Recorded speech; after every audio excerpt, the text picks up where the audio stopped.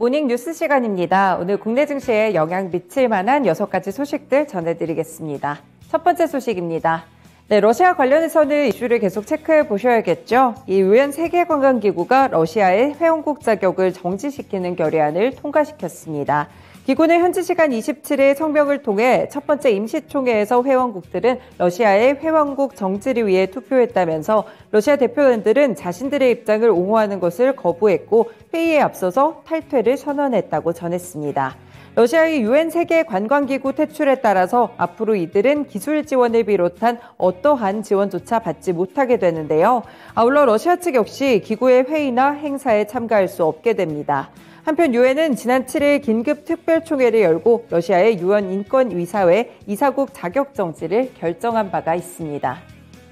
네, 다음 소식입니다. 개별적으로 종목들도 실적이 발표되고 있는 상황인데요. 그 가운데 LG화학입니다. 올해 1분기 11조 원대 매출을 기록하면서 분기 기준으로 역대 최대 매출을 세웠습니다. LG화학은 올해 1분기 연결 기준으로 매출액이 11조 6,081억 원, 영업이익은 1조 243억 원을 기록했다고 어제 공시했습니다.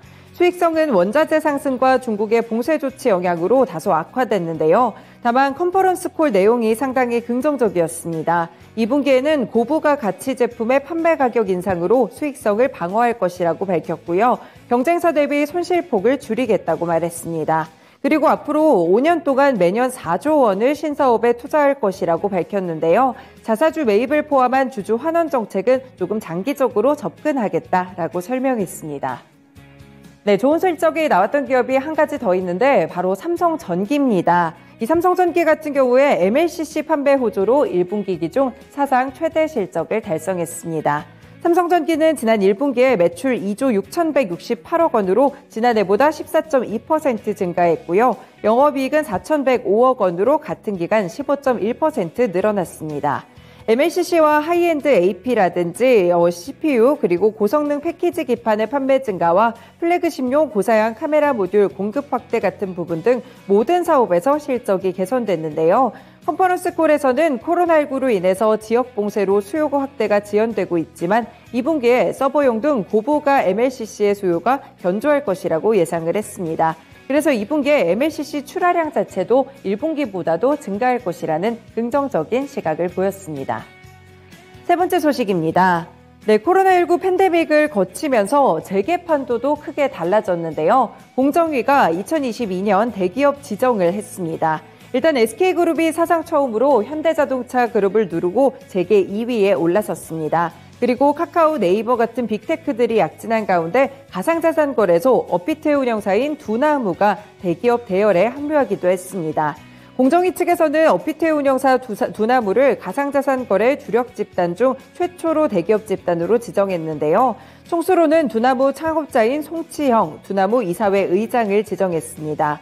이 공정위는 가상자산 거래를 위해서 업비트 고객이 예치한 돈 역시나 두나무의 자산으로 판단했습니다. 그래서 두나무의 자산 총액은 10조 8,225억 원인데 이 가운데 고객 예치금이 절반 정도 5조 8,120억 원에 달하고 있습니다. 네, 다음 소식입니다. 네, 2천억 원대 대규모 횡령 사건이 있었던 오스템 임플란트 이 소식 많이 기다리셨을 것 같은데요. 오늘부터 거래가 재개됩니다. 일단 상장이 유지되게 됐습니다. 이 한국거래소는 어제 기업심사위원회를 열고 오스템 임플란트에 대해서 상장 유지 결정을 내렸는데요. 거래소는 오스템 임플란트가 감사위원회를 설치하고 지배구조를 개선하고 내부의 회계관리 제도를 제대로 운영하고 있음을 검증받았으면서 상장 유지를 하게 된 이유를 설명했습니다. 이에 따라서 오스템 임플란트의 주식 거래는 오늘부터 재개됩니다. 네, 다음에 개별 소식입니다. 나일론의 원료인 카프로락탐을 생산하고 있는 카프로가 환경부 쪽에서 이 산업용 요소수 대체 물질인 탄산 암모늄에 대해서 화학 물질 승인을 받았고요. 다음 달부터 본격적인 양산과 판매에 들어간다고 어제 장마감 이후에 나왔습니다. 카프로는 지난해 12월 국내 최초로 실험을 통해서 탄산 암모늄 용액이 요소수 대체 물질로 사용 가능하다는 사실을 밝혀냈는데요. 긴급 사용 승인을 신청했습니다. 한편 카프로는 국내 요소수 판매업체 7곳과 연간 약 15만 톤의 공급 계약을 체결했고요. 다음 달 1일부터 본격 양산과 출하에 들어갈 예정입니다.